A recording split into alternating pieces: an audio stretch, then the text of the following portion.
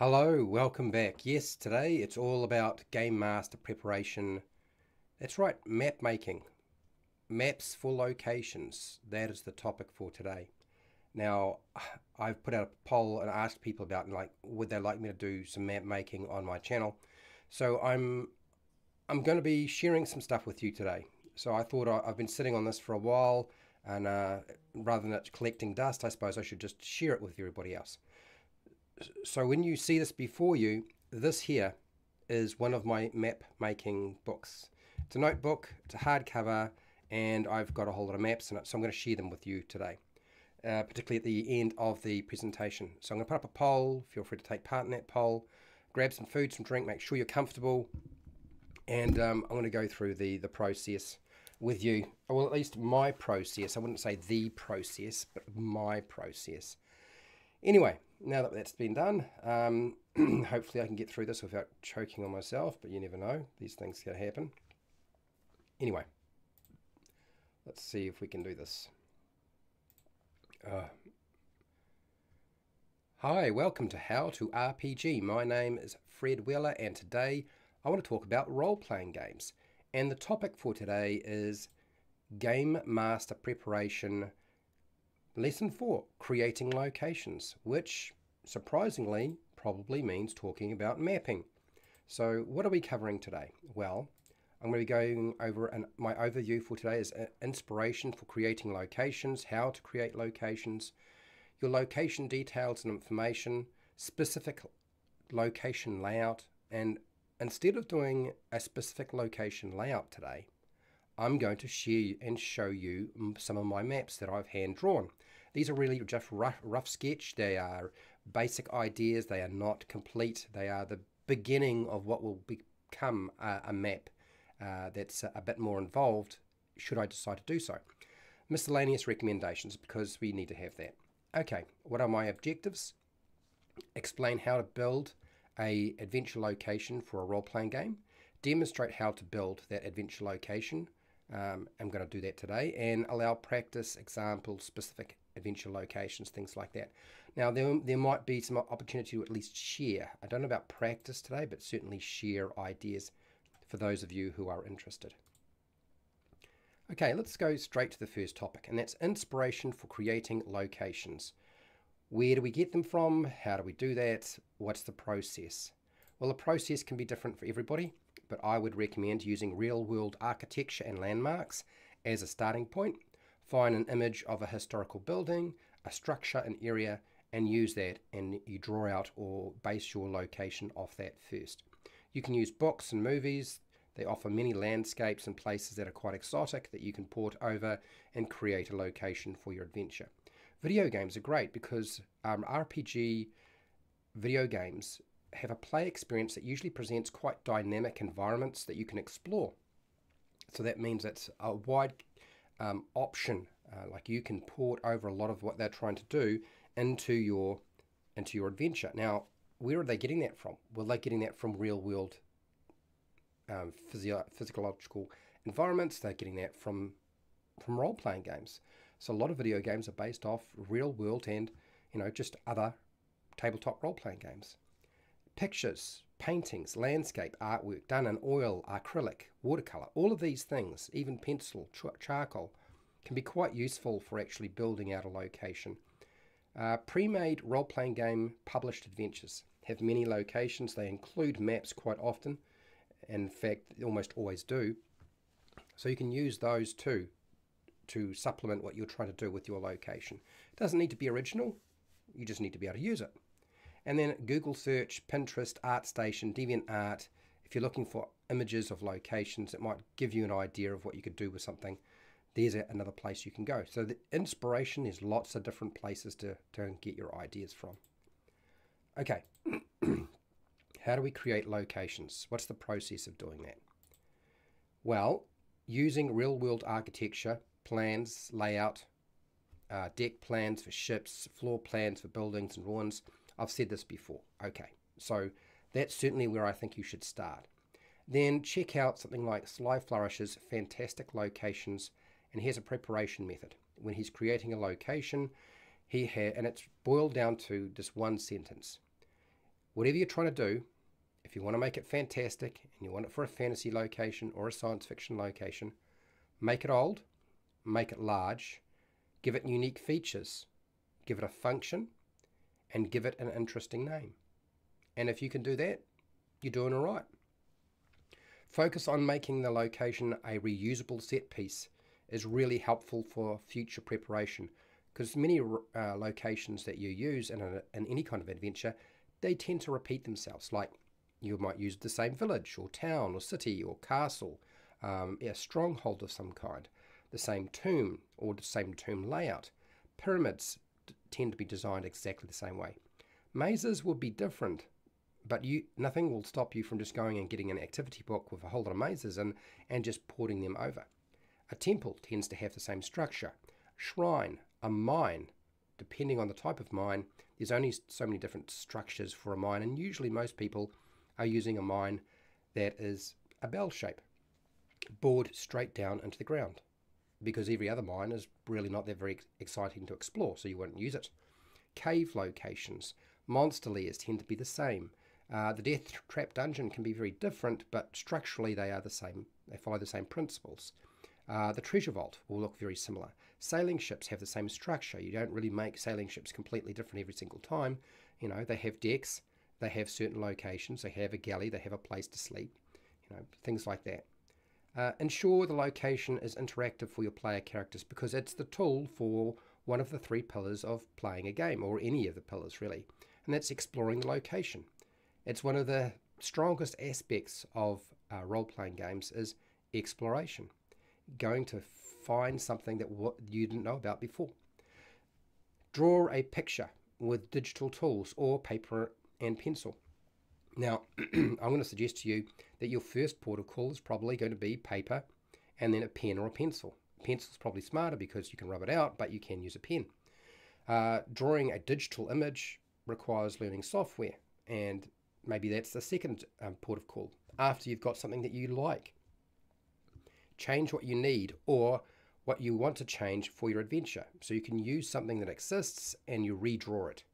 Label the map and the location. And that gives you pretty much all the different, different things that you need for it. Now, the Game Master's book of Random Encounters has a lot of locations. The whole book is all about that, plus a couple of uh, short adventures. But the book is all about just giving you lots of reusable locations.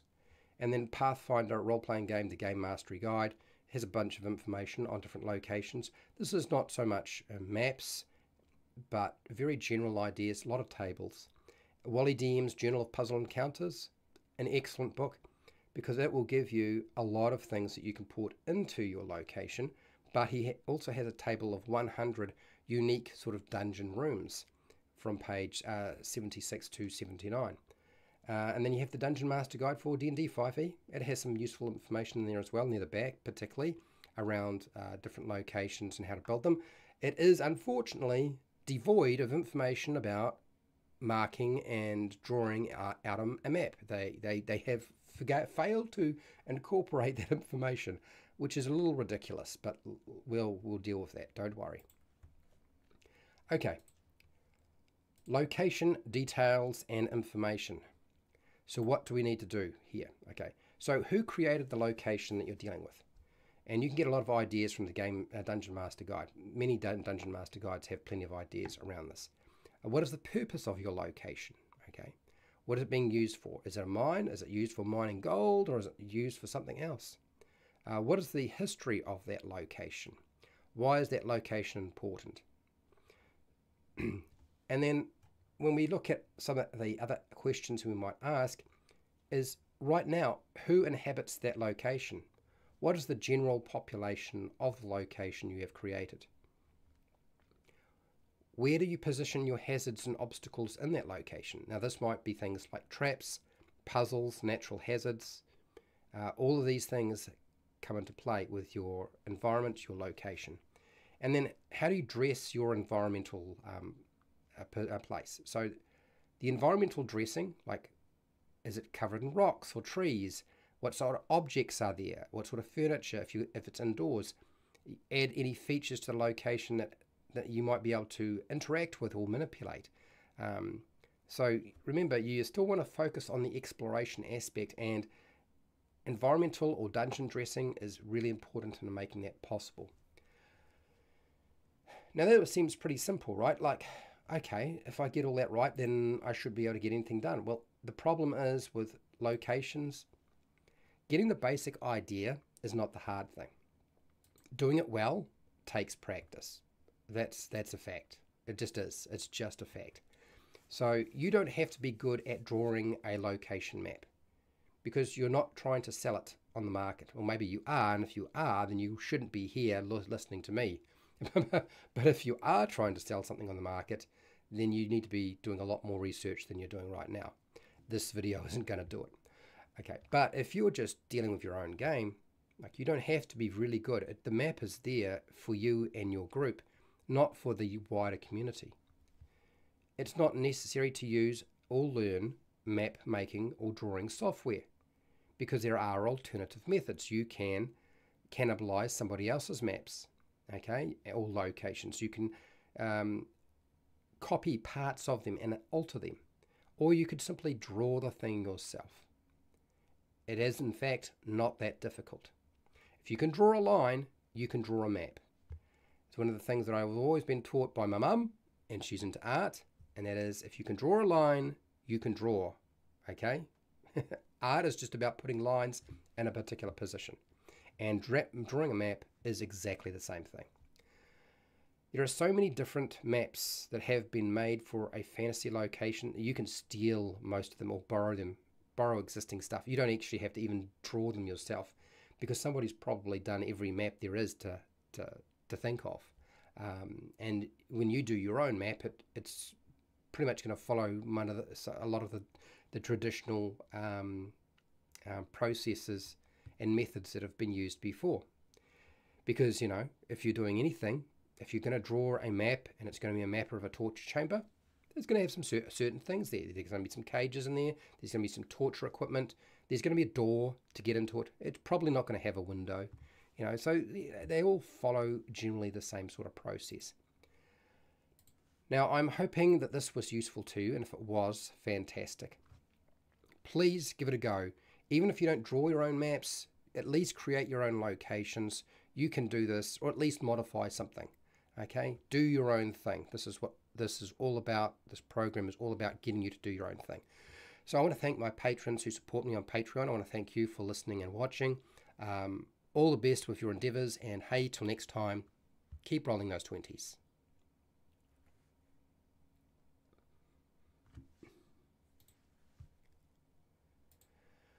Okay, so I'm going to go to the chat very briefly. And once I've gone to the chat and I've done that little bit, um, we're going to go straight over and I'm going to open up my, I'm going to just move this stuff out of the way a little bit. Um, and I'm going to show you what's in my my map book. This this is not the only notepad that I have or notebook, hardcover notebook that I have maps in. It's not the first time I've done this. I've I've been sharing what I do in terms of maps for a while. And um, so do, do not expect perfection or brilliance because this is just the starting sketches. These are just the starting ideas.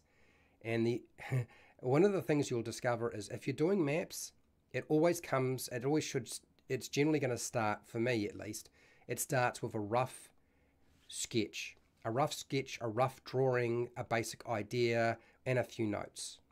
That's usually what I start with. And then if I want to make a really good map, I might redraw it by hand. And if I want to make a digital version, then I'll find some software and I'll draw it using the original sketches or concept drawings that I made for whatever the map location is. And there is a thing, it's 2023 and there was a, um, a sort of like a, a challenge put forward called Dungeon 23. Now, it started off with a bang. A lot of people were doing Dungeon 23, doing a great job, trying to keep up with it, and they've fallen off. Now, I'm one of those people, I've fallen off, but surprisingly, I do have quite a few. Uh, doing 365 different map locations or rooms is a hard task to follow If you're doing one every single day, it's really quite difficult to keep going, particularly with everything else that goes on in your life. Now, if you're a, a game designer, it's probably not a big deal. Um, but the problem is, everybody who does this always winds up doing too much, right? You wind up drawing it, you wind up drawing, um, writing a description, you try, you try putting stuff inside it, and really, maybe that's just trying to, it's going to take too long, okay? Um, so I'm going to show you this in a second, but let's go through the chat. And uh, I want I want to talk about uh, my endeavors with Dungeon 23.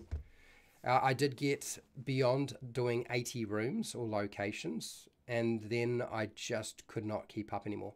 What I do find is it's really nice to be able to sit under a tree at the beach or in a park with a notepad and a pencil or a pen or both, and maybe even a ruler if I need it, and just draw maps and listen to music or something, or just listen to the birds, just do my own thing. Okay, Fred Huber. Hello, Fred Huber is a patron. Thank you for being here. All kinds of fun to me, um, fun, fun, ways to make maps. Yes, there are, absolutely. I, I totally agree. I totally agree. And of course, I can't see your comment, the rest of it, because it's disappeared underneath the poll. Sorry, Fred. Big Kid is a moderator and a patron. Thank you for being here.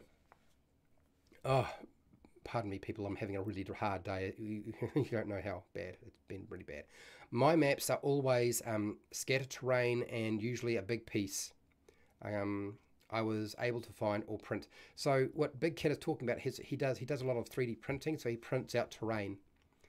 Uh, if I need more, I use wooden blocks to stand in for bigger structures, which makes perfect sense, absolutely. So you construct your maps as you go. There is no there is no necessarily no set plan. You're just going to lay things out, and if it looks about right, that's good enough. Fine. Um, I link weather to an appropriate real world location. Okay, at some point in the past. Uh, okay, then I can give weather reports. It's not uh, rune, RuneScape. The sun isn't always shining. Okay. Well, I mean, I mean, I, I suppose weather is a is an aspect of location for sure. Hello, Norok. Norok is also a patron. How are you? Uh, greetings. Yes. So what do you got here? Esper has a few old videos on drawing maps, um, good resources. Yeah, Esper's also a, a perfectionist. And not only is Esper a perfectionist, he's very good at what he does. Um, I'm probably not that kind of person. I'm just not that sort of person. But I do draw maps. I, I, and the, the shocking thing is, and you're going to find out very shortly just how bad it is. But let's get to the bottom of this chat and let's move move on. Um, making maps is always fun time. It is time consuming. It is. Yeah, absolutely. I went through 13 iterations of my map world. So, yeah, I, I've I've learned to accept that because I create so many worlds, I don't need to worry about getting too worried about that sort of stuff. Which is why I do it in about 30 seconds, a big, quick, rough sketch, and that's it. Um, if I am drawing my own they start on graph paper, then I redraw on basic drawing on a drawing program. Um, it took a while for me to make uh, Xcrit. Okay, so let's let's let's let's go straight over to where, where we need to be, which is let's have a look at what's in this notebook book that I've got. And so before you, you see the Book of Lairs, and the Book of Lairs, every invention here is about four pages long, which takes about anywhere from, depending how fast you read, 5 minutes to 20 minutes to prepare. And every single location, every single adventure has a location map. It might be extensive, it might be short, but it's a good example of the sort of thing that you can do yourself, right? Now, they're all done pretty because they're done for publication, but I wanted to show you this book because I think it's an excellent book. They should be making more of these. Four pages with a map, perfect. Let's move that other way. this is the Game Master Book of Random Encounters, and the Book of Random Encounters is full of location maps, different locations, things that you can use, that you'll reuse, and that's that's a huge use to you. So you don't have to draw it yourself. But that's not why you're here. You're here because apparently Fred has this little rinky-dinky notebook here that's got his own stuff in here. So this is this is what I have. Now I'm, I'm sorry if I haven't been able to zoom in. Maybe I can do that. Can I do a I wonder if I can do that. Can I just stretch it and just pull it across so that you can see a little bit closer. Oh, can I do that again? Let's, I'll see if I can do that. I'll see if I can make it a little bit bigger because you can't see very much at that at that distance, can you? Okay, let's try and transition over. But sweet. Okay, I'm going to keep an eye on chat as I go. And um, he says, "There's my mark." So this is my this was book one. I have book two as well. Book two is not finished. So this is Dungeon 23. This was the challenge that was put forward. Building a mega dungeon essentially. 365 rooms, all locations. So each month of the year for 2023. And for me, I decided every month of the year was going to be a level, a different area, a different general area and and I was just going to focus on rooms and locations, and that's it. And I was going to write like a short description, so that's what I put down. Um, and uh, Sean McCoy was the, the guy who started this all off. So here's the thing I started doing far more than I should. This is all done in pen. So to give you an idea of what I was doing is usually I'd start off with a ruler and a pencil. Sometimes I didn't use a ruler, sometimes I just used a pencil. I would draw in the basic structure and then I would go over and use a pen. This takes time. So this is the, the Clockwork Lion Den. And uh, for this location, it's got some double doors up here, some statues, a pillow, um, some pot plants, and I decided that my description was going to be super simple. Room one, a cybernetic clockwork lion is curled up on a pillow, which would be right here. I wanted there to be a monster or a creature, a construct tied to this location. And then I have on the back, I can you can see I have a lot of notes. Now these notes took a little while and because you start writing up notes on something then you have to you, you wind up having to fill out more. So I, I talk about you know what i'm going to what monster am i going to use from the monster manual for my cybernetic clockwork lion so page 331 um, a large brown pillow and an alcove. I just wanted to describe what color it was. Very simple. Quick notes. Nothing. It's not like professional. It's just it's note form bullet pointed or or even just numbered. Numbers easy to find out find right so you know what you're up to. I decided to include a small clockwork mouse hiding in the den. Um, I decided the double doors were going to be made out of bronze and they were going to be locked. Uh, I also decided that the two um, lion-head um, humanoid statues, so the statues are actually lion-headed humanoids, and they would be by those double doors. I decided the three pot plants would have catnip growing inside in them, okay, that were against the wall. Uh, so I started to add in more and more detail. And as soon as you start thinking about these things, it's fun, but it takes time. So I didn't get a lot done with the first map. It took me quite a while trying to find the time to get it done. Um, I included the single door. I decided it would be iron and wood and it would be unlocked. Um, I decided the, the room was about 70 feet long and about 45 feet wide um, because there's no squares on here. And I, it's if you go having to look for a book that's got squares in it, you wind up. I find you wind up getting a soft covered book, and I find that the soft covered uh, notebooks do not last as long as the hard covered notebooks. And even though the hard covered notebook costs me about two dollars in New Zealand, that's a fairly minimal price for something that I know will last me a little while and I keep using it, right? You know, there's so many pages in it, I keep using it over and over again, gets worn out, and if it was soft cover, it would just get torn to shreds. So that's why I've been using the hard covers and finding the cheapest hardcover I can, really, um, of a reasonable quality.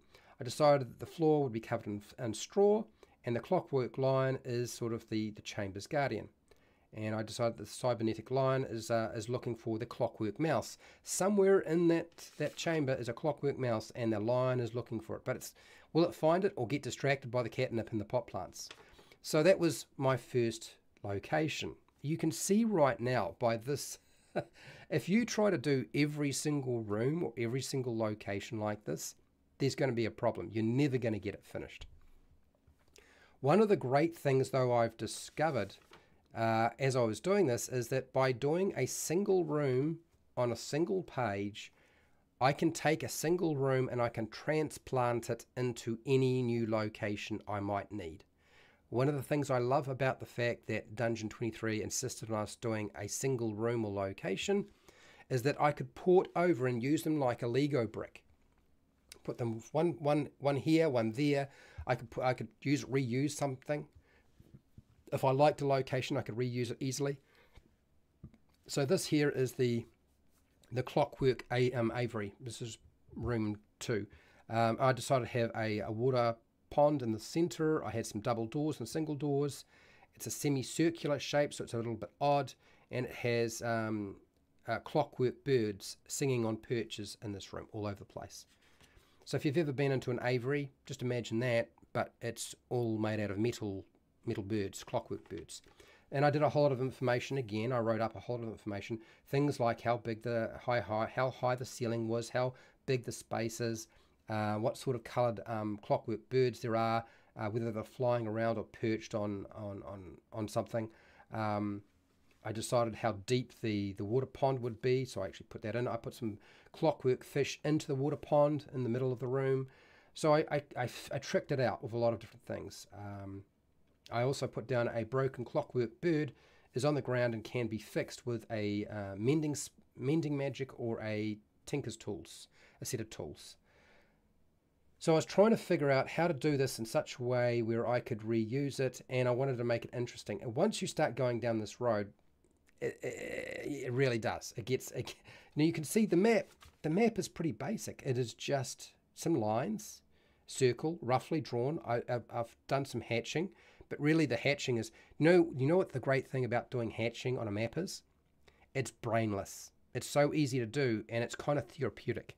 You sit there and you just draw lines, and at the end of like you think, oh, that kind of looked better than it did before, and if it didn't look better than before, the process was quite quite a soothing. um, it's a weird thing, I, I, I admit. Um, I decided to include that you know if you played musical instruments or sang a song, that the um, it would calm down the clockwork birds because they like singing. I decided the doors would be bronze again, and I decided the uh, the the water pond was kind of like a fountain or a wishing well, so there should be gold coins in there that you could fish out if you wanted to. So lots of stuff was going on here. Okay. Now, I, I could go over and explain every single one, but I'm not. Now I'm going to just flick through here very quickly. And you'll start to see, and I'm probably going to point out the ones that I think you could reuse.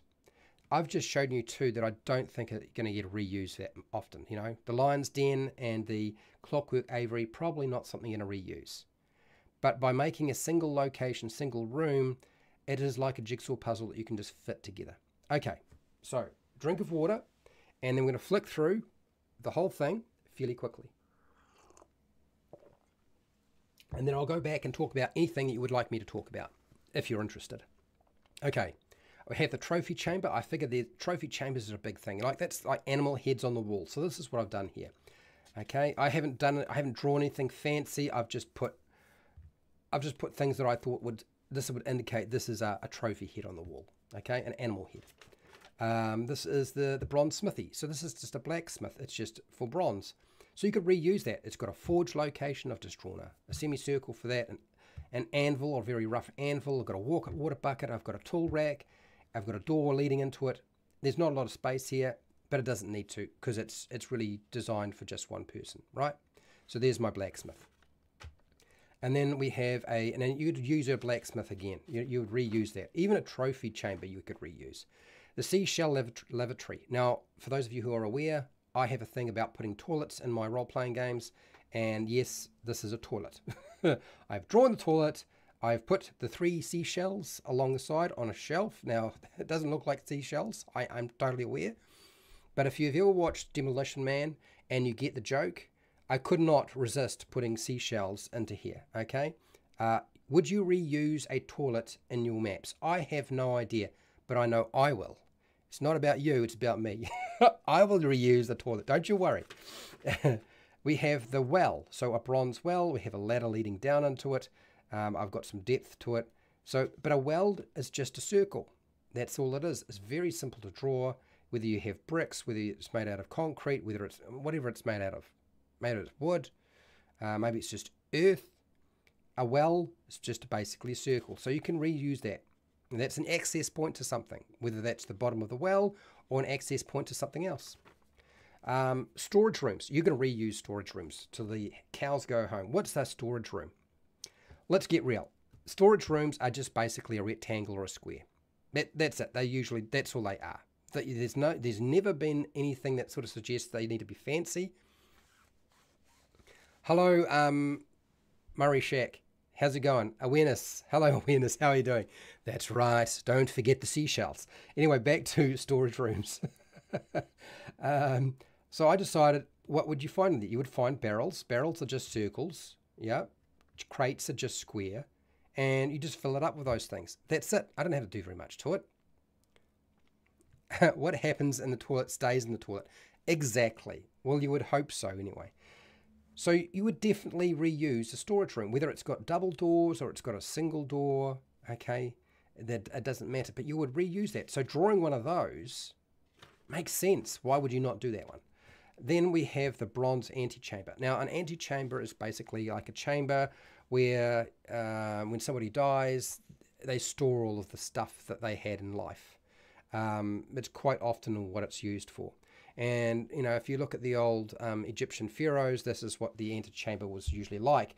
It was a room, it was either a square or rectangle, it wasn't a particularly large room. It would often have, at the end here, I have a secret door, it's not a secret wall. So the wall has to be broken through. There is no secret door that you just open up. You'd actually have to bash your way through the plaster that's covered at the end. That's why it's got a line and an S and it says secret wall.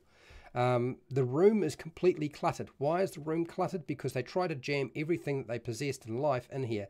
There's a couple of boats, there's a, a throne, there's a bed, there's some crates, there's some statues, there's a chandelier, and you know, um, and, and, all it is is just circles, squares, rectangles, odd-shaped things, um, anything that you thought, sort of think. It, you know, it could be just coins on the floor for all you know. So it's just full of shapes. Okay, this looks like a throne. This is kind of like a bed. This is kind of like a boat. There's a boat and a boat.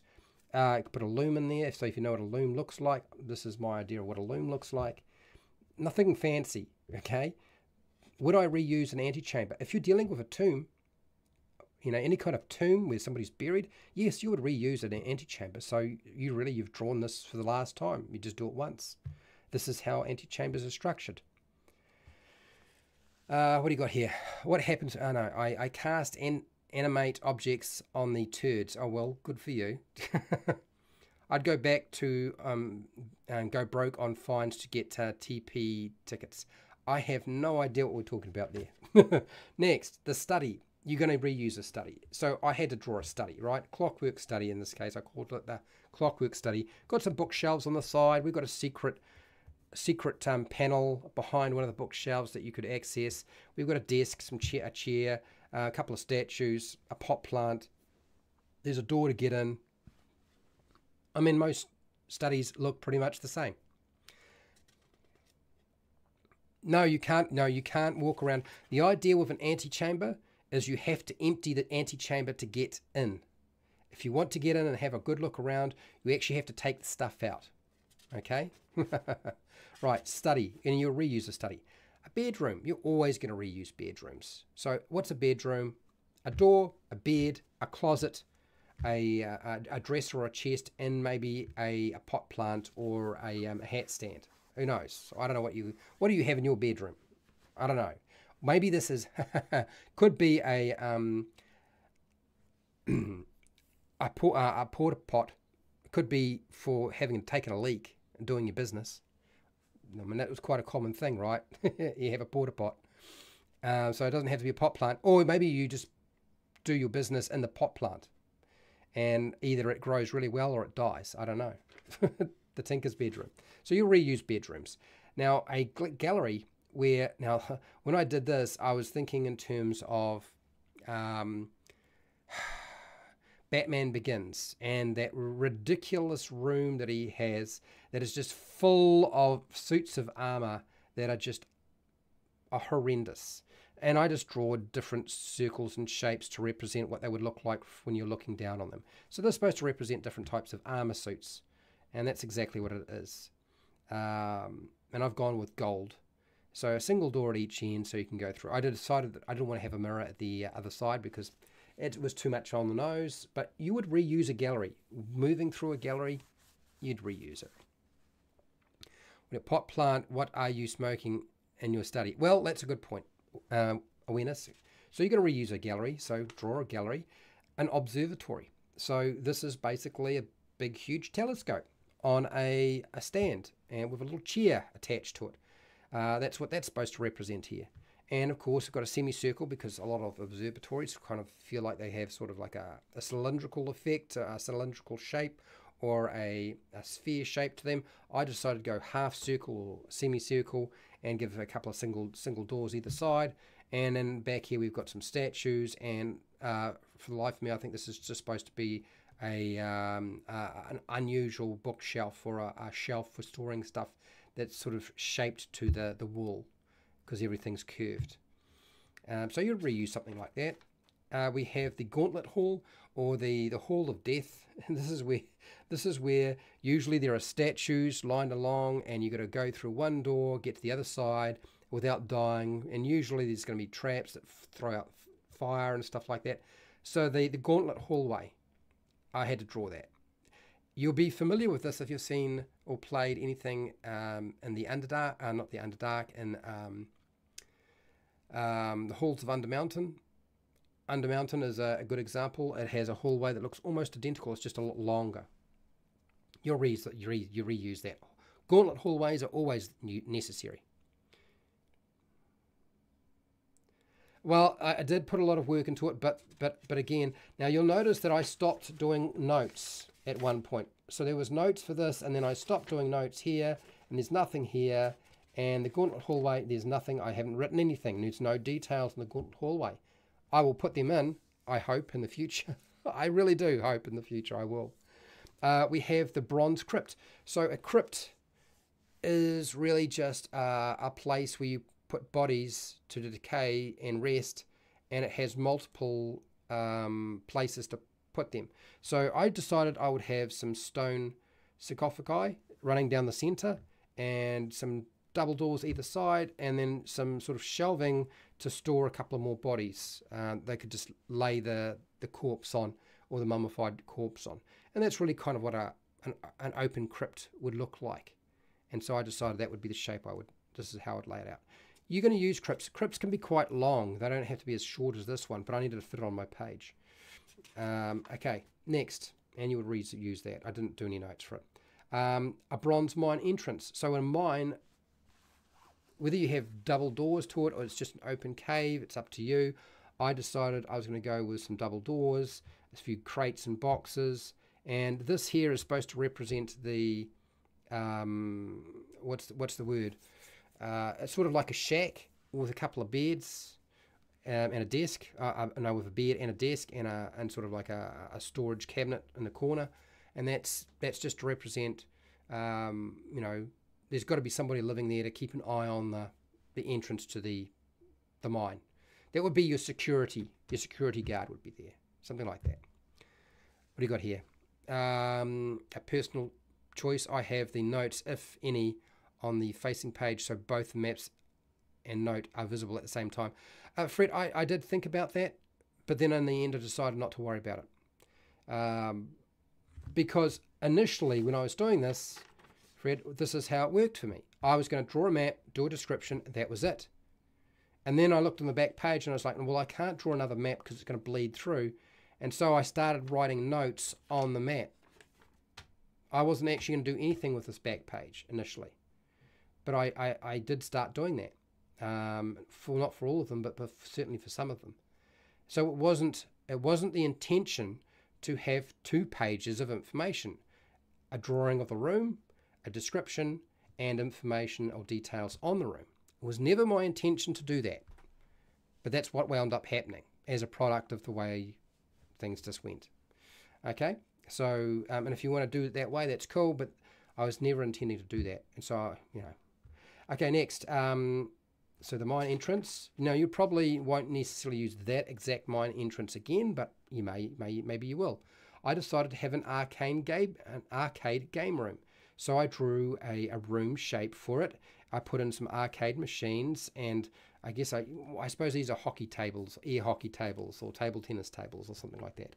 Um, something, you know, I just what would they look like if you looked down, and and so I drew that in and so this was supposed to be sort of clockwork, you know, game tables or game machines that you could play with. Um, and I know it doesn't necessarily fit into a fantasy world. Now, are you talking about what do I draw my maps on if I'm using a pen or a pencil? Because it's paper if you're asking me that question. But um, are you are you asking me what software do I use?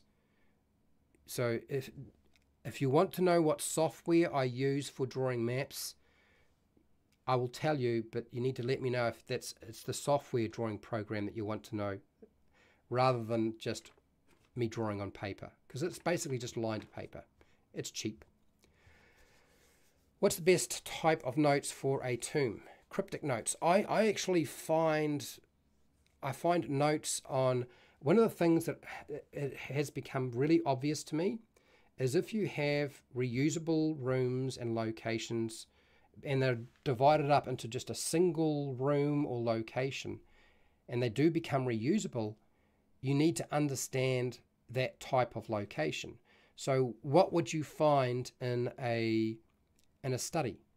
And being able to have a list of things that you would find in a study is super useful because it goes right back to the exploration thing. If you go into say an arcade room, what would you find? Well, you would find gaming um, machines, wouldn't you? You might find a ball, you might find a pedal, um, you might find coins. So, being able to. So, you don't permanently draw maps IRL. Uh, here's the thing for every map that I draw, I very rarely use them. I might, but I very rarely use maps that I draw. For every, I don't know, 100 maps I draw, I might use one or two. That's, that's generally been my approach. I'm trying to work towards not doing that because that tends to be a problem where you, you draw a map you think you put it away for later on, it doesn't get used for whatever reason, and you don't wind up using it because they don't go there or something like that. And you go, I'm going to use it later on. So quite often I find myself drawing a lot of maps, but that they don't actually get used.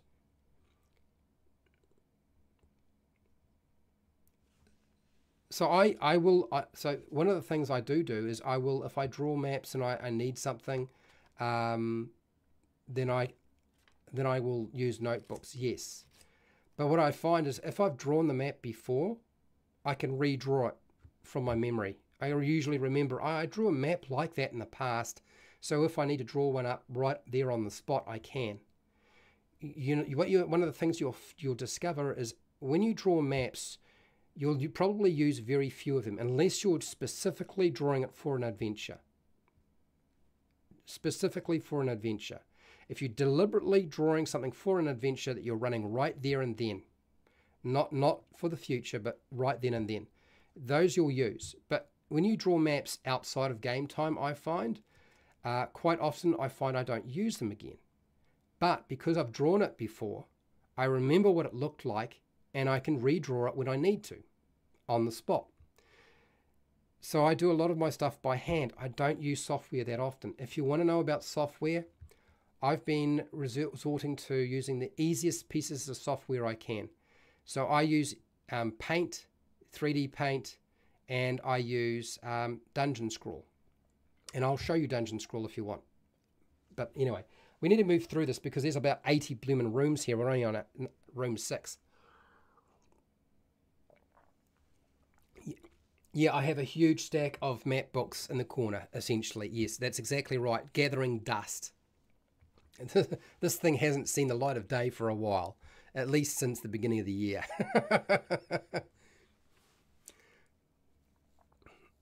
uh, okay, what else you got here? I could see that being a problem. Yeah, I brought a, uh, a dry erase um, battle mat and and draw them on there. Well, yeah, I mean that's that's fine, but I yeah I don't I don't generally draw a lot of my maps to be sort of they they're just something that all, all I need is that, and I can transfer that onto a, um, a battle grid. You know, this is a, a writable mat right here. It's got hexes, but there's squares on the other side. This is the the big pockets um, AJ Pickett um, silicon battle mat, which is awesome. Uh, but I don't leave them on my my silicon battle mat, okay? Because I'm gonna have to reuse it. I always draw maps in between sessions where I know the players have decided to to go to that location. So Nora, that's exactly what I do. The problem is they don't always go there, so you don't wind up using it. Or even though you drew a map for the location, there wasn't a fight. They dealt with the situation a different way, so you didn't actually have to draw out the map to show them, you just had to describe it. Quite often, the only thing I need is a description of the location. And I don't even need to have that book page out. I can describe it off the top of my head, so I don't need to worry about that sort of stuff. Uh, okay, keep keep going, Fred. A waiting room. I decided to have a waiting room with a really long couch um, or chair and a reception desk and some double doors, and I made it triangular just because I wanted to have a triangular waiting room. You're not going to reuse a triangular waiting room. Let's get real. This is Fred just being silly. Um, dining room. Like, you're going to reuse dining rooms all the time. How many dining rooms? What does it look like? Big table, a lot of chairs around side, some access points, usually a service entrance, usually a main entrance way. Double doors is probably going to do fine for that. And I mean, this is the type of thing you would reuse all the time because you need dining rooms. Um, clockwork kitchen. So a kitchen location. So what I did is I went on the internet, had a look at what the old kitchens look like, and this is where the the um, I guess the half is. Uh, it's it's stone. It's got a hood to um, deal with steam and smoke. It's got some uh, wooden tables. It's got some shelving and some um, benches. It's got some swinging doors, some double doors. And then after that, you have your coals. And usually, uh, old kitchens had a um, like a cauldron, uh, and it would be sitting over hot coals because you can't have an open flame uh, in a in a castle. Uh, it's dangerous. And in a kitchen where there's lots of oil and fat and so forth, they always were trying to reduce the chance of fire. So hot coals was the best way to go. I found uh, JPGs of the um, uh, uh JPEGs of the Lost of maps and printed them one inch equals one foot for the game table. Yes, well, I've done that too, as a lot, a lot of you know. a lot of you know I've done that. Okay, let's keep going. So I did a bathroom. Of course, you've got to have a bathroom. Got a shower. Got myself a bath, basin. I'm going to reuse a bathroom. Maybe you'll never use one. It's like the toilet. I decided I, I wanted to have a vault. Does anybody remember Tron and that huge door that they had to open? So I decided I was going to have one huge, thick door that looked, was like a corkscrew that would unwind. And this is what this room is supposed to represent. The room is not very fancy. I didn't even put any treasure in it. I didn't even bother to, to draw in some treasure you could find in here. I didn't even see the point.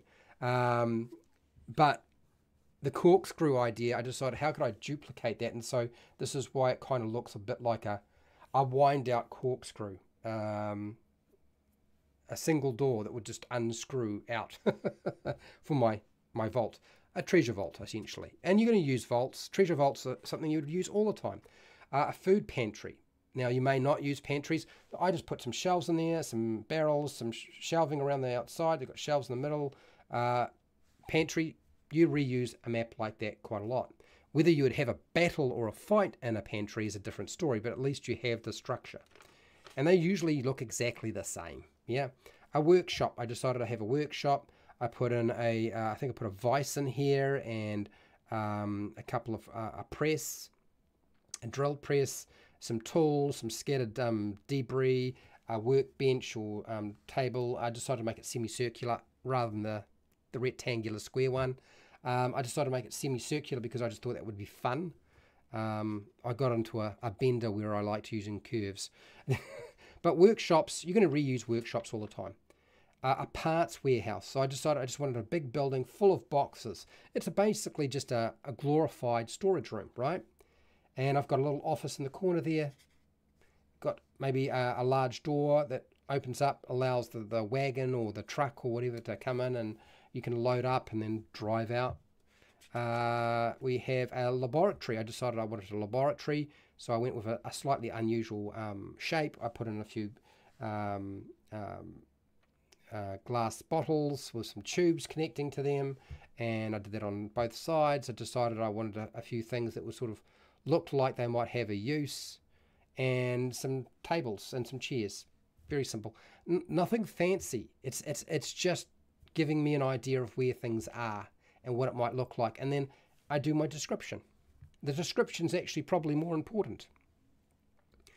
Uh, what do you got here? I run a game entirely theatre of the mind at a local hobby shop. Usually I just improvise rooms as needed. And um, Mershak, that's exactly how I tend to do things too. I tend to just make stuff stuff up as I go. And because I've built and made these rooms before, I, as I said, I remember what they kind of were like, and so I can just pull from that information. A book like this makes um, it easy to track uh, PCs and NPCs' relative position behind the DM screen. Yeah, yeah, absolutely. Um, next, a library. What does a library look like? So I was looking up like what do libraries look like, and one of the things that became quite obvious is often you have bookshelves in the middle of, a, of the room the the room shape is quite usually it's it's it's a weird shape when you look at libraries. Uh, I decided to put library um you know a stack of uh, bookshelves right around the all the walls because that sort of made sense using every space on the wall. I included a secret door access point. Um, I, have got a main access point and I put a desk and a chair and that was it. So that somebody can sit down, grab a book, and read at the desk in the chair in the comfy chair.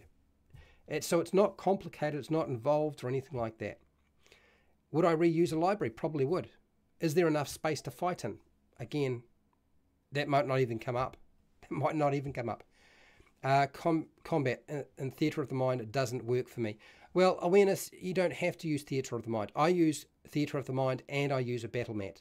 I use both. Whatever works for me at the time and how, however lazy I am at the time too. So this is a danger room. So for those of you who remember the X-Men, I decided to have a danger room and I always envisaged the danger room to be just a couple of curves so you could never quite work out what was going on. so I did that. And what the heck is going on in the center? I decided that was the, the projection machine or whatever the heck, you know, because it's, usually a projection device of some kind, right? Uh, so this is supposed to be my danger room. Um, and I've got a bit of a description here. I got a lounge, so I just needed to have a couple of lounging chairs. I decided to go with curves, but the room is sort of squarish. A um, couple of access points, and that's it. Some coffee tables. I want to, I drink my coffee in here, um, or at least throw it at somebody in the middle of a fight. I decided I wanted to have a, a mine elevator, so I just drew a, a cave for my mine, and I drew a, basically a square for my elevator that would go down. It's just a box, and it's got some sliding doors on the front. That's it. Nothing, nothing fancy. And I wrote out the rest of the information. And you'll see that I did go back to doing notes at one point, and it starts around about here. I decided to have a rubbish dump. So this is just basically a, a door to a cave chamber, and a big hole in the middle is where you dump all of your crap. you know, well, not not poop crap, but your rubbish, like your food scraps and whatever junk you know no longer need. It, this is, goes goes down the big hole. Yep. So we just break, um, take a break and draw the, the map on a battle mat right before we roll initiative. Yeah, and I, I, I do I do that a lot myself if I decide I can be bothered. Uh, next, control room. So I decided, how often do you need a control room? They come up sometimes. So I decided, oh, let's draw a control room. I was thinking back to a lot of the old puppet shows that were done, um, like um, Stingray and what's another one? Uh, oh, Thunderbirds. Thunderbirds is a great example. So what does that look like? And so this room is really just the Thunderbirds control room. well, one of the Thunderbirds control rooms. Maybe it's even the Stingray one. I can't remember. So I, I had a, a, main sort of um, panel and a chair and a couple of um, supporting um, control panels and chairs to sit at, and that with one exit, uh, one entrance way. That's it. Nothing, nothing else. But you use a control room occasionally. Um, a lair entrance. Usually with a lair entrance, I decided lair entrance is usually going to be quite open, quite wide, need a space to get the creature in, and I just leave bones. So that's all it is. It's just a big space, bit of a um, curve that's been cut out, and there's some bones and scraps left at the very um, um, entrance to the cave because that's where it would drop all of its uh, its leftovers potentially, so it doesn't sleep with all of its all of the food that it's eaten. Um, I decided to have a, a monster le- uh, larder, and so uh, in this case, I have a hole, I have a cage. I'm not even going to explain this. You're probably not going to reuse something like this. This was me being very silly. okay? Um, you could have a larder that looked a lot better than that, I'm sure. An egg chamber, like whether it's eggs from aliens, whether it's eggs from um, ankheg or um, ants or anything like that. And so I just drew because usually egg chambers are, are, odd shapes, and so I just drew something that had some odd shapes to them. It's got a bigger part um, section to it, smaller little alcoves, and some eggs or uh, some some larvae sitting there waiting to hatch. And you'll reuse egg egg chambers for sure. Um, the rubbish dump, which again is it's kind of duplication of something I've done before. I just drew a different one with another big hole. Um, this is just for a cave. So you'll notice we're starting to move away from what were structures that, so at about, where is it? About here, this is the 31st of January, I decided to move away from um, constructed walls and towards caves. This is the month of caves, so that's why you see a lot of other things being duplicated, but it's cave shapes. Uh, I decided to draw a stone bridge crossing a, a, a chasm or a, a, crevice. It seemed like a, a good point. It's it's the sort of thing you would use in a battle, right? Let's have a fight with um, two enemies on either side of a stone bridge. Perfect time, particularly if there's a big, huge, long fall. Uh, a water pool in a cave. So that's just water. It's just supposed to represent water and a cave, and like it can be connected to anything. Um, I decided I had to have a mushroom cave. So I just drew some mushrooms and I decided to stick it into a a, a cross juncture. Now, whether you would do that or you'd have a dedicated room that had just one entrance to it, completely up to you. But let's get real. Whatever you're doing with caves, you're probably going to have mushrooms in there, right? Um, Golden Fountain Cave. So I decided, does anybody remember the Golden Voyages of Sinbad? Is it the Golden Voyages of Sinbad? I think it is the Golden Voyages of Sinbad. The Golden Voyages of Sinbad has a place and I've reconstructed it. This is the, the, the, basic layout of the Golden Voyages of Sinbad when they go to the um, the last um, um, uh, the, where the gods would smile on on on men, uh, where there's a fountain, there's a rock, uh, there's a couple of entranceways. I believe there's a centaur, cyclops, and a, a griffin that come and battle each other, and then of course Sinbad's crew have got to deal with it. So I redrew that location here and I just called it the Golden Fountain Cave because I would always want to use that kind of location. And so I've watched the movie many times. This is supposed to be steps leading up to the, the pool. uh, what do you got? I had a dungeon room with a poker table, with cards and sodas and popcorn. Described the colourful um, cylinders on the table that appeared to be um, sweating. Good one. Cool. Right, so we're about halfway through now. Uh, this is just a, a treasure chamber in a cave. It's just a treasure hoard. So I just drew treasure and made a, a, shape for it. That's all I needed. So now I kind of got an idea of what's there. Um, this is just a crevice with no. So now, you know when they have to jump that crevice? Uh, well, now I have that. I've drawn that up. I know what it looks like. I can actually use this if I really wanted to. I've even decided how how far across it is, how deep it's going to be, and what might be living down below. you know what I mean? So, yeah. Um, a bird nest in a cave. Like, what would a bird, big, huge bird nest? I don't mean a small bird nest. This is supposed to represent the bird nest. I know it looks like garbage. Um, some stones, some bones, and an entranceway. And this is like a, a little cliff face facing out onto into the, the open wild. So I always felt like if you're going to have a nest in a cave, it needs to have access to the outer world. And so this is what this is supposed to represent. This is the point where you would access from as a player character, but this is the side that's facing into the, the wilderness from the from the cliff face. Um, a wishing well. So this here the Wishing Well Cave is a duplication of, again, the Golden Voyages of Sinbad, where he goes to a um, the Oracle, see the Oracle, and I decided I needed a wishing well, and these are the steps leading down from the entrance, and basically there's a few rocks in there, stalactites or stalagmites or whatever the heck you call them. Uh, so I decided I put all that there, and I remember there being some some debris on the ground, so I, I put that down as well. So that's just me copying that location. You can see I copied a lot of stuff. Uh, puffball crossroads. So I decided I had mushrooms. What if I just stuck a whole lot of poisonous puff, puffballs in the middle of a crossroad? Are the players going to go through, or are they going to turn back, or are they going to do something else? So I decided to do that. Uh, I put a black pyramid in a cave. Now, why did I do that? That's just supposed to be a pyramid, four sides. I was watching. Uh, I was watching uh, Predator versus Alien, or was it Alien versus Predator, or whatever the heck it is. I can't remember. And they had a, a huge pyramid in a cave location. So I decided to do something like that here. What is its purpose? I'm going to tell you. Would you reuse it? I'd probably not. Crystal Cave. Now, we talked about designing giant crystal caves not so long ago. And so this is just my, my crystal cave. A tight gap a big space to move through, and lots of pointy crystals. Yep.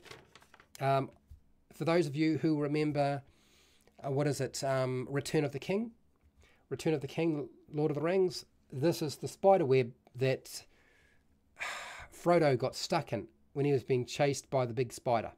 So I decided I wanted to have a big spider location. I felt like a web would be crossing over here, so you'd have to move through it or across it or walk across it and of course you probably hide your spider in here somewhere out of the way.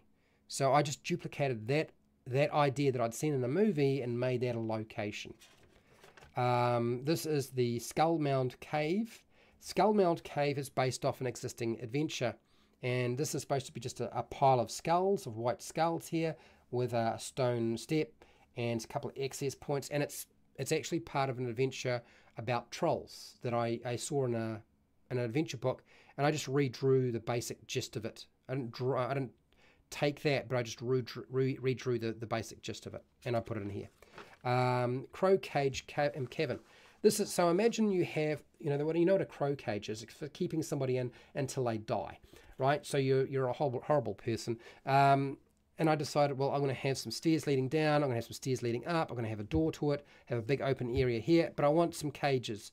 So I'm going to have one that's flying on the ground, so that's what I drew, and some some of them, the ones that are circled, the circles, they're supposed to be the cages, and they're hung by uh, large metal arms from the ceiling. Um, so you can walk underneath them, and of course stare up at the um, the the dying and dehydrating and starving individuals in the caves uh, and a pile of skulls because of course or, and bones because that's what's going to eventually happen. You're going to have to empty those cages and stick new people in there. So this is the the crow cage cavern. Uh, i think this is also part of based off uh, an adventure that i had uh, run at some point. This is a waterfall cave. So i decided i wanted to have a waterfall and a uh, sort of underground um, stream or a pond and sort of an, an access point. Um, in a, in a cave location because was still on February at this point. So I decided to draw that. What else you would do with it? I'm not too sure.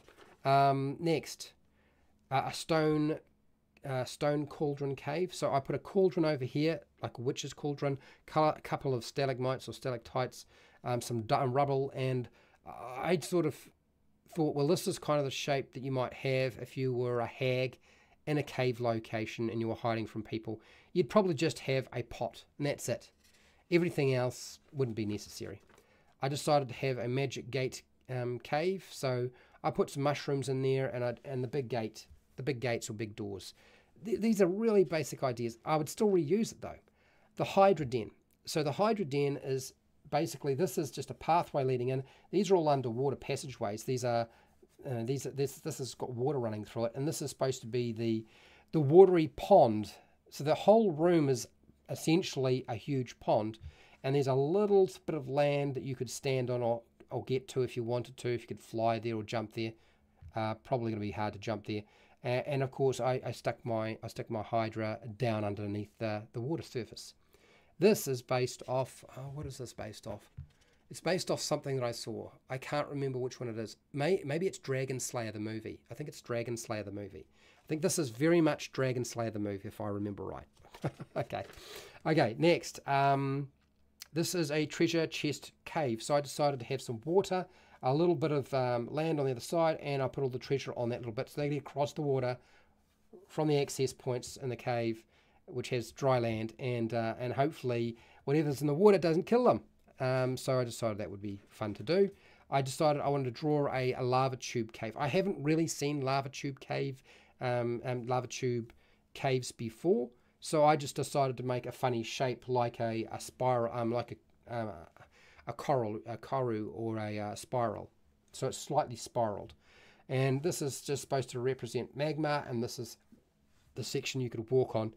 Um, I'm not very familiar with lava tubes anyway. Okay, throne cave. So I decided I wanted to have a cave with some stairs coming up to it and maybe a couple of statues and a throne uh, sitting on a, a dais. So that's what I've draw, drawn here. You're going to use throne a throne room or a throne cave a lot of times. This is just cave crypts. Okay, putting crypts into a cave. So we've you saw that before. I was doing that before. Uh, this is just um, pod caves. I decided it would be fun to have caves that were like pods, but were, there was an aspect to them that was um, natural, but also um, manufactured. So that's why they're connected by doors. And I put a few statues in there. I don't know how useful that would be to you though. Uh, this is just a tunnel crossroad. A tunnel crossroad, there's even no point in drawing something like this, but I did it anyway. Um, this is, now we're on to the next month. This is now January, February, March. January, February, this is March now. I decided to move to castles. So drawing locations for castles was my thing. So this is an entranceway. So if you've never seen what they look like, this is roughly, you know, you have a, an access point. They're usually a funny shape. They allow for defending. You can walk along the, um, the walls. That's why the walls are so thick. There's a staircase here, and there's a few support beams. Okay, so that's the uh, bar, bar, bar Barbican, the Barbican. It's a castle section. Stables and a castle. So I decided let's draw some stables. So I drew some stables. You can see these are my stables here, and a, there's a trough for water. Um, I decided I wanted a map room in my castle. This is like the war room. So a big table with a map on it, some chairs around it, and some access points. Um, and then we have a, a tower. A tower is very simple. A tower is just a round room with a circular staircase going up. Um, and if you're not having a circular staircase, then you have a different type of staircase. But you reuse those sorts of things. The castle gate. The castle gate's really simple because the castle gate usually has either side of the main gate, which would be here, you'd have like a portcullis here, and your main gate, which would be made out of wood or metal or both. And um, in between is sort of like the oh, what's the what's the word? I can't remember off the top of my head. But this was just supposed to represent what most castle gates would look like, because they usually had arches in these two towers, either side of the main gate. So I just drew that. I did a throne room. So this is our two thrones, major room. It's just a rectangle with some doors, nothing fancy. Uh, a castle dungeon. So I drew a castle. Now we've talked about castle dungeons before, so I drew a castle dungeon. I had a cell. I had some torture equipment. I decided to draw in a rack. Uh, I decided to draw in, um, oh God, I can't remember. There's a desk here. There's something else that's supposed to be here as well. I think this is based off, I think the structure of it is based off um, The Man with the Iron Mask. There's a movie called The Man with the Iron Mask with Leonardo DiCaprio. And I think the basic place kind of looked like this, or one of them did. Yeah, it, it's. I know it's an. It's an. It's, it's an older movie, so I I, I copied their dungeon. Um, I did a chapel, and the chapel is really based off. This chapel is based. Uh, is it based off the one from Rocky, the Rocky movie, and uh, Robin Hood? I believe there was a chapel in Robin Hood. I can't remember which one. I think it was the Kevin Costner one, and I decided to draw a chapel in here uh, because often um, castles would have a, a, chapel. I decided to draw in a, a, kitchen that would be suitable for a castle, and these are just this is supposed to be the stone area with the um, the hoods, the um, the venting hoods. some wooden tables to work on, and some shelving, uh, and a barrel. Um, a pantry, it's basically just another storage room, but for a cave. And I decided to include a secret door. Yep. Got some stairs leading down from the door, and then you, the lower area, then you can access all of your goods from your shelves. Um, a castle great hall. You got to use. I mean, you're always going to use a castle great hall, right? Even if there isn't a major fight in here, there's bound to be a food fight. So um, we have the nobles' chairs, the the um, their their table, and some some uh, extra tables and some chairs sitting around this. This is definitely from the old Robin Hood with Errol Flynn. I, I, looked at that and I was like, okay, can I just redraw what they had? And they have two fireplaces either side because you can't have one fireplace on one side to keep the room warm. You've got to have two, right? um, castle dining room. I just did another dining room. You use dining rooms all the time. The same sort of structure. This is what I mean by when you're doing a lot of this stuff. It's good practice, but you realize that the structure for them are almost identical for a lot of things you're trying to do. Uh, castle drawing room. So castle drawing room is just a couple of couches, a table in the center, probably low lying, a fireplace, and some access doors. And when I did the castle drawing room, I was thinking of the solar. For anybody who knows what a solar is, it's like a living room. Yep. Bedroom. Big bed um, with supporting um, posts.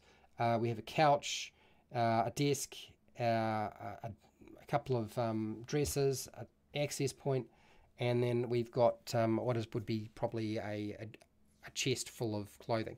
And this, I believe, is based off a Victorian movie, and I cannot remember the, the for the life of me, I cannot remember it. I just copied the structure and the positioning of things from an old Victorian movie. I know that sounds bad. Anyway, castle storage room. I decided to have a, a round one. I thought, well, what about I've done a, a rectangular one? Can I have a storage room that's sort of you know, like a, part of a tower. Um, so I did that. And then a ballroom. Ballrooms, the thing with ballrooms, they always seem to have a lot of access points, whether it's windows or doors. So that's what I've done, is it's just a big space and it's supposed to be a ballroom. Because you need to have a big space to be able to dance, otherwise you're going to crash into everything. There's no furniture in a ballroom. You know why? Because people crash into those things. It's it's it's just walls, doors, and, and windows. That's it. Um, a castle library, Again, I decided I was going to have, in this case, this is supposed to be balconies up here. Um, I hadn't decided how to access it at this point, so I hadn't put a staircase in, which I probably should. Um, there really should be like a, there should be like a, a, a circular staircase that sort of comes up through here, right? Which I never, I never drew those in. And if that pen's even going to work. But yeah, if I was smart, I would have drawn in circular staircase so you can access it. But I never did. Um, and then, of course, just a desk and some chairs in the middle. Uh, next, I decided another bathroom. We've got a, a, round tub this time, not a square, not a rectangular tub. A couple of sh um, um, shelves for stuff and a basin, obviously. You don't need that much. This is copied off a picture I found of a bathroom in a real castle in, I think it's Denmark or Sweden or I can't remember, somewhere in Europe. Um, anyway, this is supposed to be a castle uh, cellar.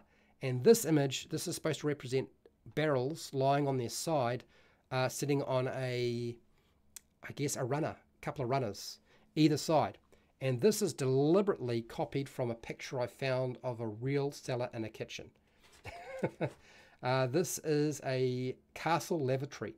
I had never found a real lavatory for a castle until one day I, I, I came across an image and basically, it's like communal pooing and shitting. You sit beside a whole lot of other people who are also doing their business, and it's basically just a big, huge seat with a hole in it. And the holes just, just go down into a bucket or down into a, a, drain of some kind. But usually it's just a bucket, and they just remove the bucket underneath the seat. Hilarious.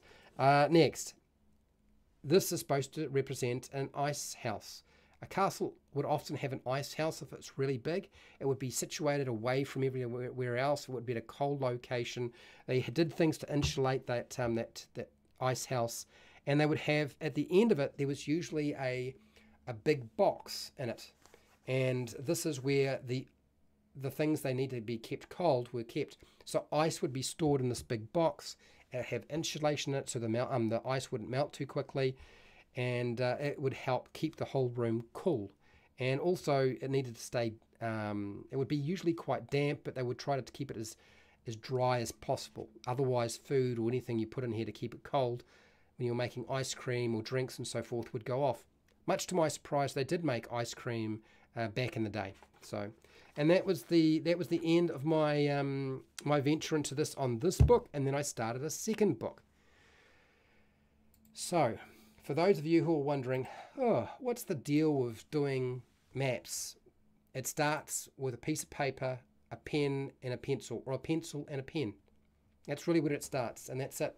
And they may never get used, uh, or that specific one might never get used. But once you've drawn maps of different locations, you can usually redraw them again, I find. And if you find a map that you really like, then maybe you'll go and use something like Dungeon Scrawl to to tidy it up. Um, I will give you a link to Dungeon Scrawl. Dungeon Scrawl is the thing I use. I don't use anything fancy because I don't use a virtual tabletop, so I couldn't give a toss about whether it looks um, pretty. All I need it to do is to function. So uh, Dungeon Scrawl. Dungeon Scrawl is a free is free. You you can get a paid version, but it doesn't cost you a thing to use it. It has had a whole lot of updates. I am not going to show you how to use it today, I can assure you, but uh, I will put the link in here and uh, you can go and play with it and see what you think. This is not promoted. I'm not not getting paid to, to promote their product. Okay. The only reason I use Dungeon Scrawl is it's because it's simple to use and I, I don't have to think too much about it. It's it's just there and it, it has a sort of an old style feel to it. So this is this is it here. Old school dungeon maps made easy. And you can draw a lot of different types of maps with it. There's different types of wall shapes. Um, the interface is a little bit hard to get used to initially, but it's it's not as bad as trying to deal with something like Photoshop or some of the other um, map drawing software out there. And if you're just doing it for your own game, um, I think this is probably the one of the better ways to go. Dungeon Scrawl is super super easy. You know, you can grab whatever you, ever type of um, uh, thing you want, and you can just draw in, and it, uh, it it'll pop out what you want. So there, there's a wall there. I can do that again. So if you wanted to have stone walls, but you don't want to have that sort of cave look, you can do this sort of thing. As you can just draw out, uh, oops, let's do that there whoops, let's undo, undo. No, I'm not going to bother undoing. I'm just going to do this very fast. I can't be bothered. Um, I just want to go get out of this very hot room. Um, there. And then you can put in a door if you want. But yeah, basically drawing up a map or of a room is, is not that hard. Um, and then, of course, if you don't want that sort of thing and you want more of a cave, then you can go with more of a cave. You can change the, the way the, the, the layering is working. Um, new layer and you can have that sort of effect. Uh, you can have uh, uh, that sort of effect. Uh, what's another one? Oh, I think this is this is more if you want to go old school. You can go old school, and you can change the way it looks a lot of different ways. So you've got a few options. So yeah, that's uh, Dungeon Scrawl and then of course it's got assets and images you can plop plop in. You can put in put in all sorts of bits and pieces in here if I can even find them. Um, yeah, you can move them around and position them where you want them, like that. Okay, all right. So uh, yeah, so to have a play around with something like that and see what you think. But most, as I said, most of my maps are, are hand drawn, and then of course they're going onto a battle grid usually, so I'm not using, you know, anything else particularly fancy. EA, EAI education, um, slide and measure. Uh, compass rulers are handy tools also. Yes, yes, definitely. I agree. Compasses and um, and sliding rules for sure. All right. Okay. Interesting. All right, I'm going to finish up this because I'm cooking in this room and I'm not feeling that well now. so I'm gonna I'm gonna take toodle off. But do you draw map locations for your role playing games? Yes, 68%. Oh, well, that's a lot of people. Sometimes 18%. That's all fine. Uh, no, 12%, just watching, 0%, 16 votes. Okay. All right. So for those of you who are wondering, will I ever draw maps on my channel again using software? Yes, I will. But I'll draw it by hand first. Because I always feel like if I draw it by hand, even if it's a, just a quick rough sketch, I've got a better grasp of what I'm doing.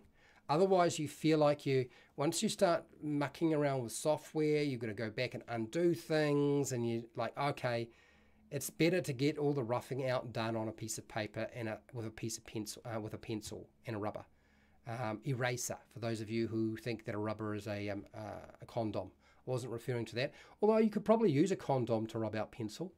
I'm sure it would work. anyway, yes, I will cover that sort of thing in the future, but not today. Not today. Um, I'm going to get rid of this, get rid of this, get rid of this. Okay, cool, cool. All right, I'm going to get going. Um, all the best with your drawing and your map making and your location creation. And uh, yeah, just remember, it doesn't have to be perfect. Just need to be good enough to do the job. They're all pretty much the same, really, when you, when you think about it. Anyway, so um, huge thank you to all of my patrons. Thank you to everybody who who's been here in the chat responding to the the poll. I do appreciate it, watching and listening. Uh, I want to say uh, again. Uh, without my patrons, this program, the Game Master preparation, uh, the uh, running adventures, uh, covering monster lore and the monster workshops and the character building and, the rule stuff. None of that's possible really with just YouTube uh, revenue. It's down to the patrons supporting me to make sure that I keep coming back and doing that because it takes a lot of preparation and time. And um, time is valuable, unfortunately. It is, is something that you can't just keep giving indefinitely, and I've discovered that to be the problem uh, more and more. So, really do thank you. Now, for those of you who have been in the chat, I want to thank Awareness, Noroak, Shiner81. Hello. I didn't notice you were here. You only just commented now. Thank you. Um, F. Huber, thank you for being here. Uh, Mersh, Mershak, uh, who I believe Mershak is a patron. I'm pretty sure Mershak is a patron. Derp, who was hanging out with us for a little while as well. Yes, yes, the Clockwork Observatory is supposed to look like a mushroom head. um, Big Kid, who was hanging out with us as well. Really do appreciate those of you who commented in the chats. It makes a big difference. So, wherever you are in the world, whether it be the morning, the afternoon, the night, the wee wee early morning, please look after yourself, your family, and your friends. Be nice to your neighbours. And hey, I knew it. I, I keep forgetting uh, Mershak. I keep forgetting. Sorry about that. But as I said, try drawing your own maps. Even if you don't use them, it's good practice. And hey, till next time, keep rolling those 20s.